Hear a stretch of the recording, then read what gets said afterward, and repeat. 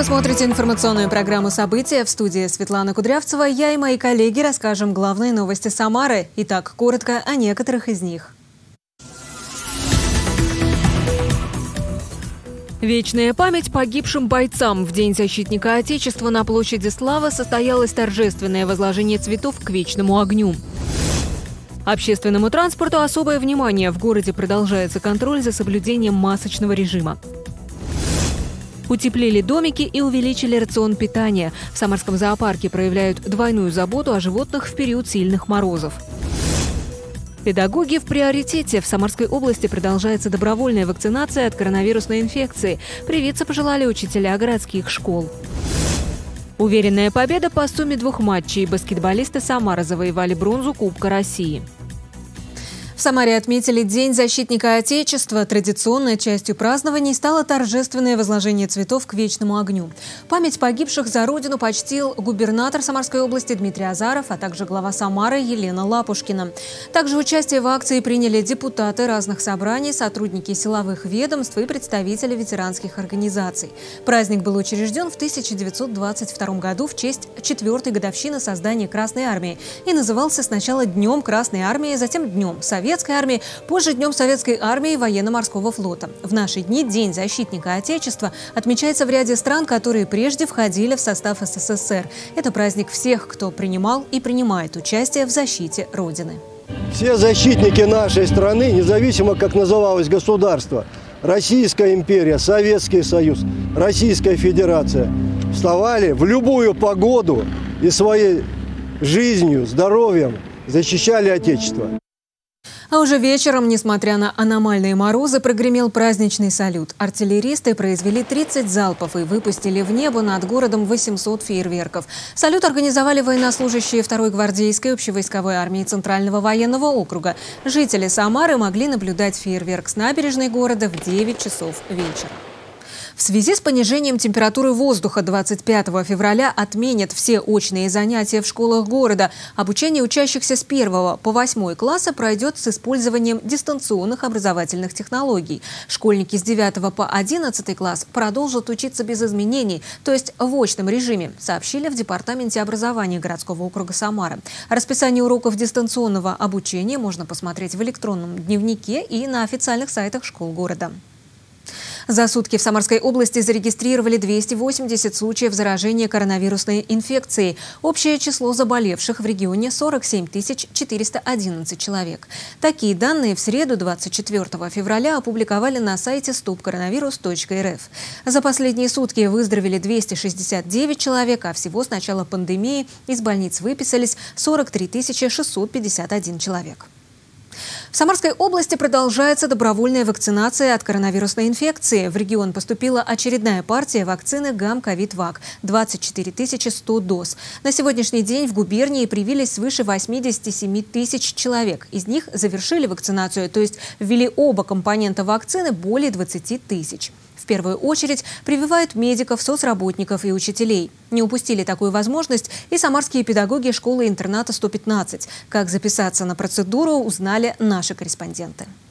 Людмила Тупала преподает историю в школе-интернате номер 115. Прививку от новой коронавирусной инфекции решила сделать при первой же возможности, рассказывает женщина. Ну, во-первых, я хочу повысить э, надежность своего иммунитета.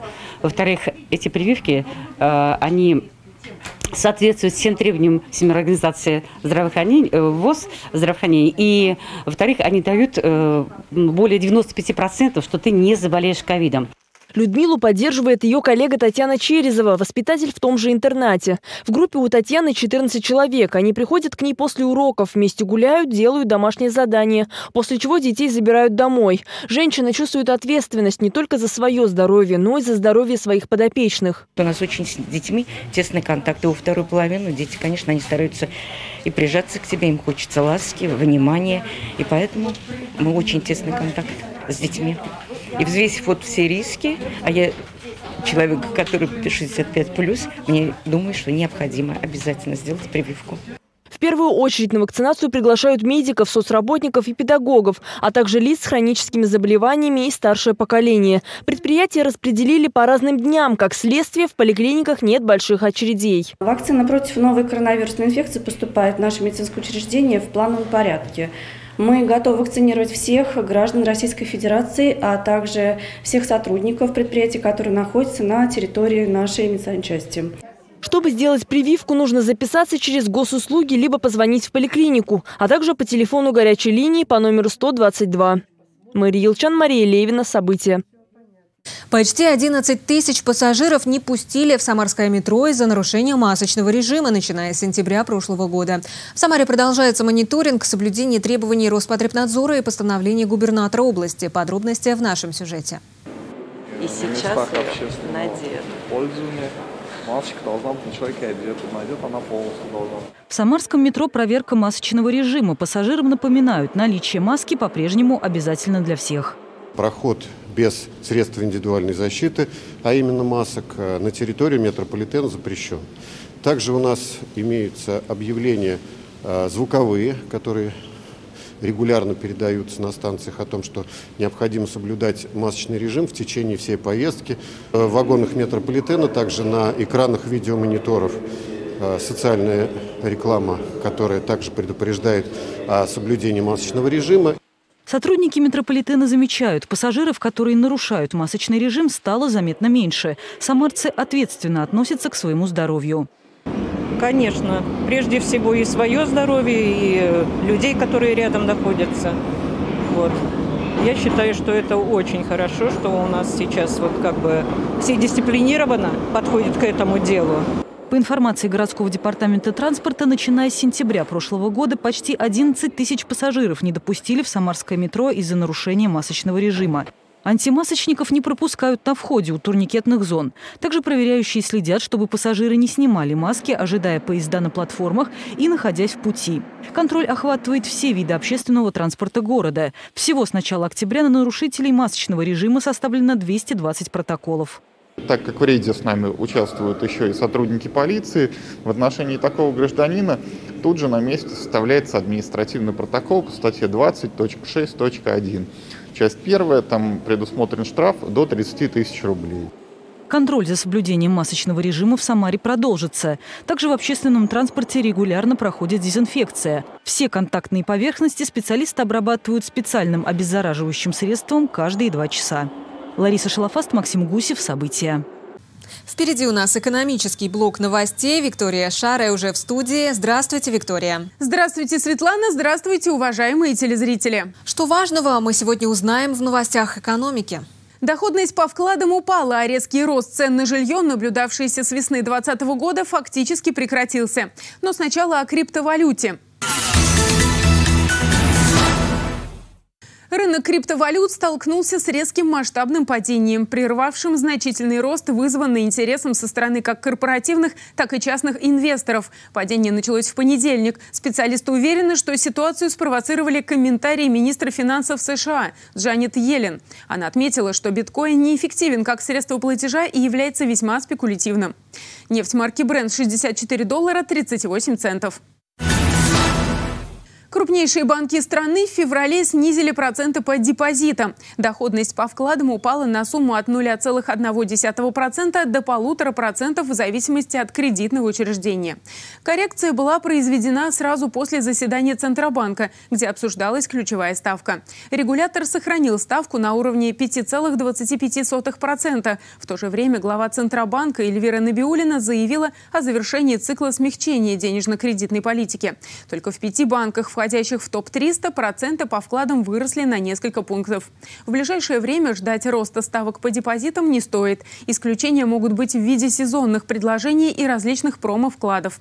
Рост возможен во второй половине года, так как банкам нужно привлекать средства, чтобы перекрыть растущий спрос на кредиты со стороны граждан. Резкий рост цен на жилье, наблюдавшийся с весны 2020 года, фактически прекратился.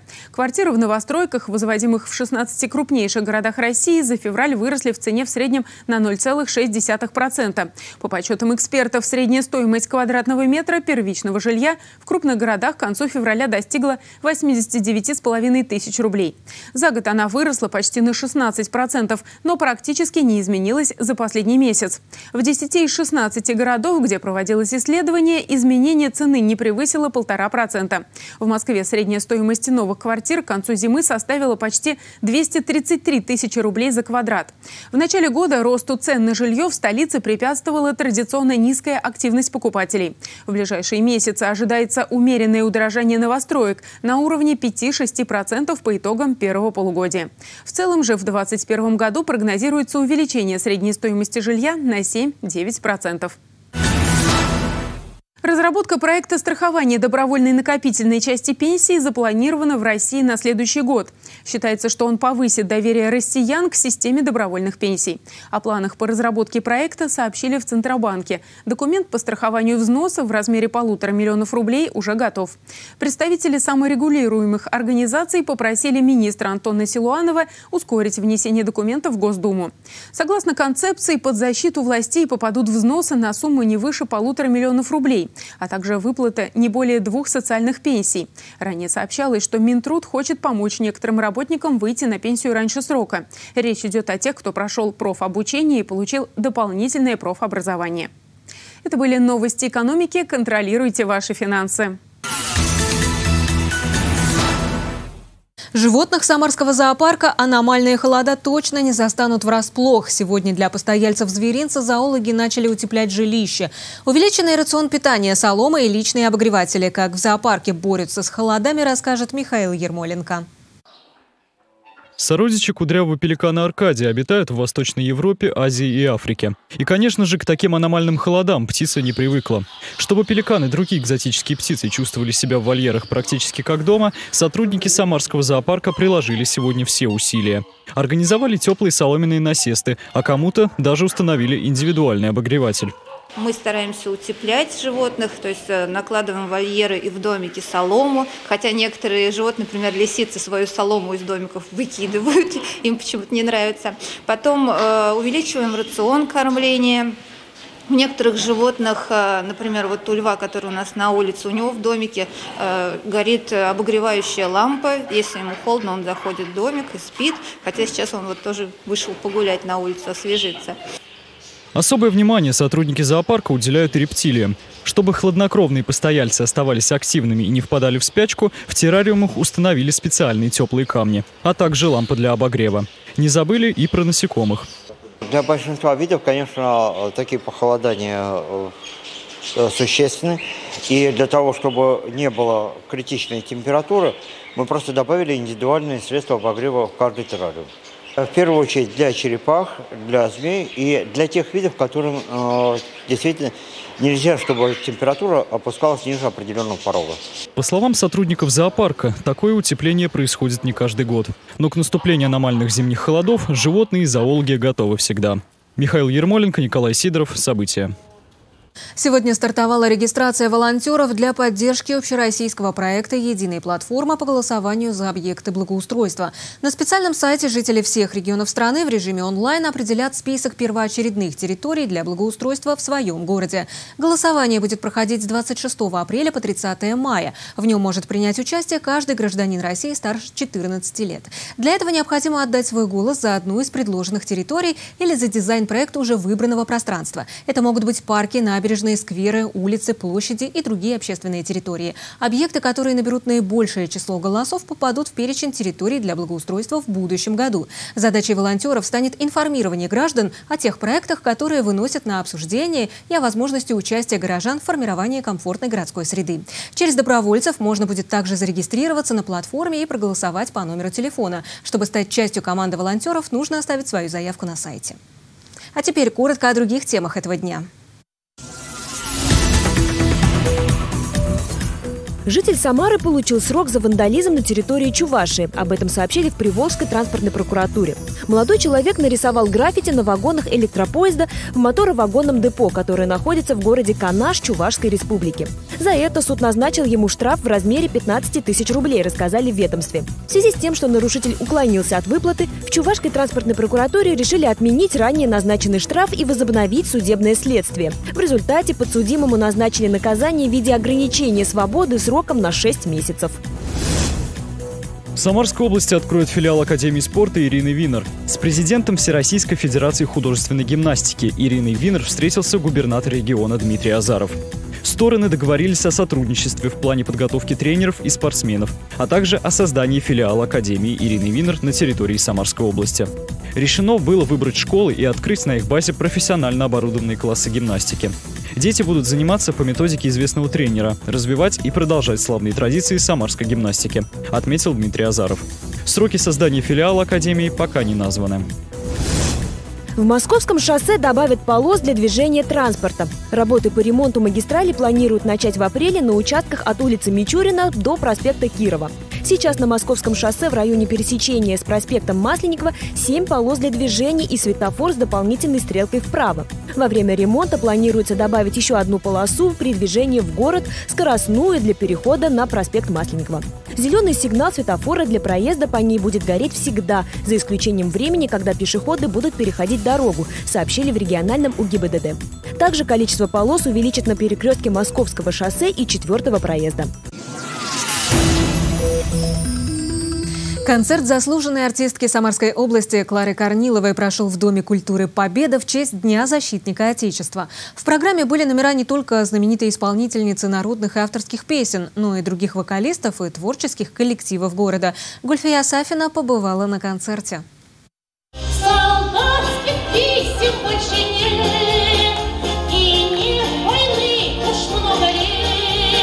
Песню о письме солдата Клара Корнилова исполняют впервые. Самарский композитор Александр Большаков и поэтесса Ольга Нинашева создали эту композицию специально для нее. И повод для премьеры – подходящий День защитника Отечества.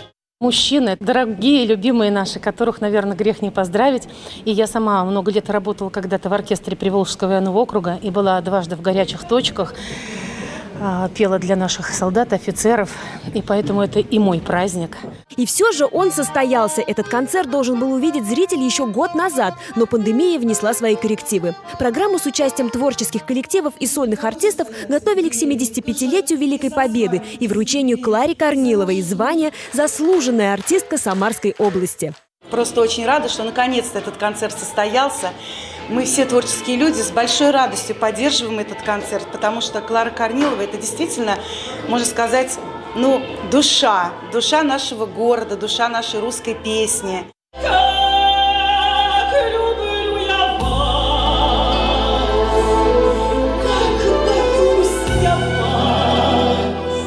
Долгожданный концерт собрал полный зал. Многие пришли с цветами. Я пришла сюда поздравить свою подругу детства Клару Корнилову а, со званием заслуженной артистки, присутствовать на прекрасном концерте и поздравить мужчин 23 февраля. Для Клары Корниловой она заслужила и аплодисментов, и любви зрителей, и, и цветов, вот, потому что ее действительно любят. Это очень добрый человек, очень чистый, светлый, и голос у нее такой, и песни у нее добрые.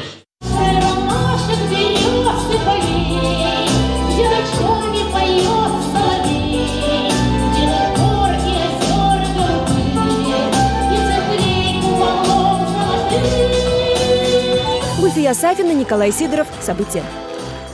Самарские спортсмены покоряют Кубок России по футболу и баскетболу, а юные каратисты заработали целую россыпь медалей на Кубке Евразии. Подробности расскажем в рубрике «Новости спорта».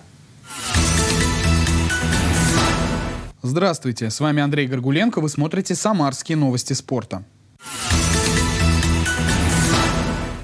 Самарские спортсмены завоевали медали на шестом Кубке Евразии среди детей и юношей по всестилевому карате. Турнир собрал более тысячи спортсменов из 40 регионов и 7 стран.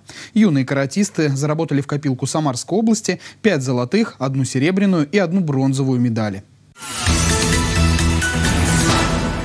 Баскетболисты Самары второй год подряд берут медали Кубка России. Но если в прошлом году они стали чемпионами турнира, то в этом сделали шаг назад и завоевали лишь бронзовые медали. В двухматчевом противостоянии волжане уверенно переиграли купол родники из Ижевска. Подробности триумфальной встречи расскажем в следующем сюжете. Матч на паркете МТЛ-арены стал вторым в серии за третье место Кубка России между Самарой и Купол Родники из Ижевска. Первая встреча закончилась 97-91 в пользу волжан, а потому они могли даже проиграть матч с разницей в 5 очков и меньше, чтобы завоевать бронзовые медали. Однако проигрывать перед своими болельщиками не входило в планы самарцев, и они сходу стали наращивать преимущество, полностью переиграв гостей в первой четверти 27-10. Когда проигрываешь 27-10, когда проигрываешь первую четверть, тяжело вообще Тяжело, когда так тяжело входишь в игру, тяжело держать ритм всю потом игру. Потому что инициативой владеет соперник, нам приходится догонять только. Так что это уже посложнее. Во второй четверти самарцы увеличили преимущество до 23 очков, и только после этого и живчане вернулись в игру. Гости выдали небольшой рывок и сократили разницу до 8 очков. Но волжане своевременно отвечали точными атаками и большего сопернику не позволяли. У нас, я так считаю, что хороший коллектив. То есть все это все понимают, то есть все друг друга, так сказать, настроили, помогли в том плане, что ну, не было такого разговора, матч за третье место, там, зачем и делать. Да, мы не попали в финал, но что получилось, то получилось.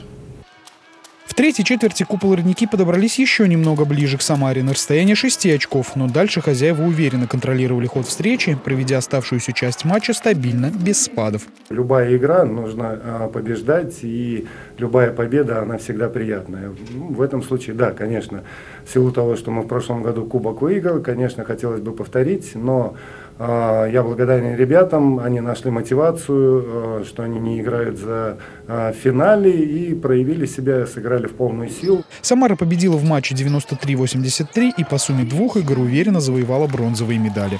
Андрей Горгуленко, Василий Колдашов. События.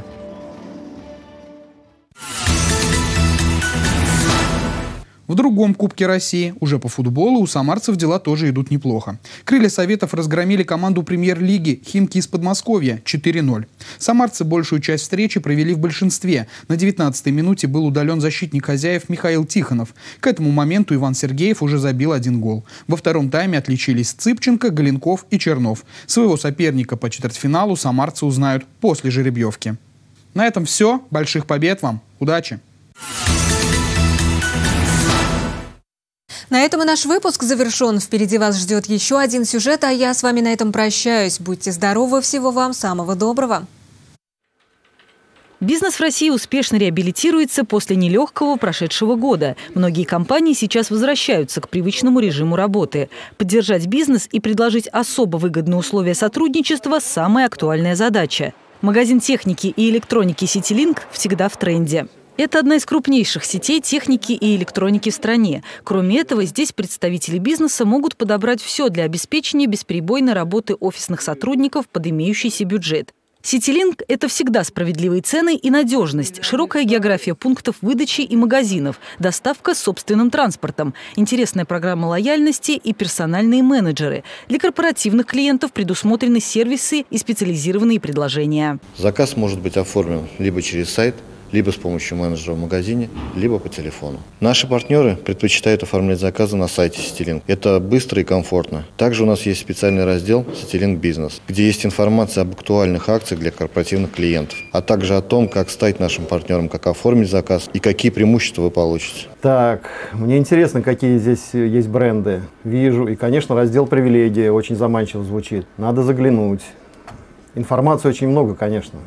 По желанию в Ситилинк каждому корпоративному клиенту могут назначить персонального менеджера. Он поможет с выбором и оформлением заказа каждый будний день с 9 утра до 6 вечера. Общение с ним можно вести через специальный аккаунт в Telegram или позвонить на отдельную горячую линию для корпоративных клиентов. На сайте CityLink есть удобный личный кабинет. Также CityLink постоянно улучшает работу над своими сервисами. Например, в последнее время многими клиентами активно практикуется система электронного документа оборота.